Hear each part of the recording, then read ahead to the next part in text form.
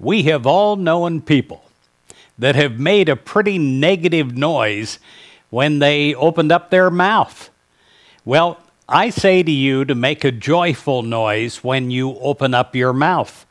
It says in Psalm 66, verse 1 Make a joyful noise to God, all the earth. And all the earth means all the people everywhere.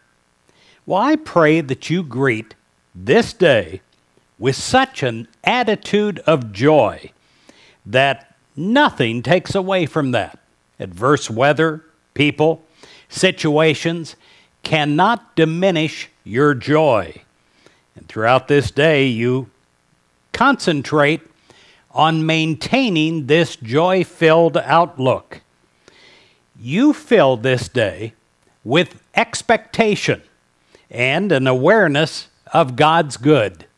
You look for it and you find it, and you magnify it through your attitude. Your heart is joyful, and you bring an expectancy of good to every new experience in this day.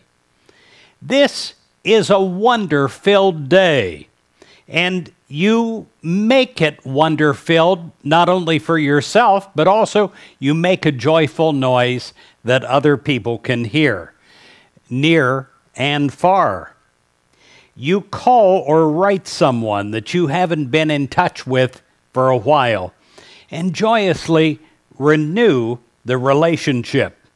You send loving thoughts and you even speak words of forgiveness to someone against whom you have been holding a grudge.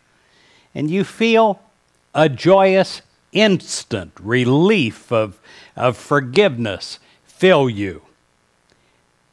Whatever you contemplate today, you think about it in a joyful awareness of God's presence.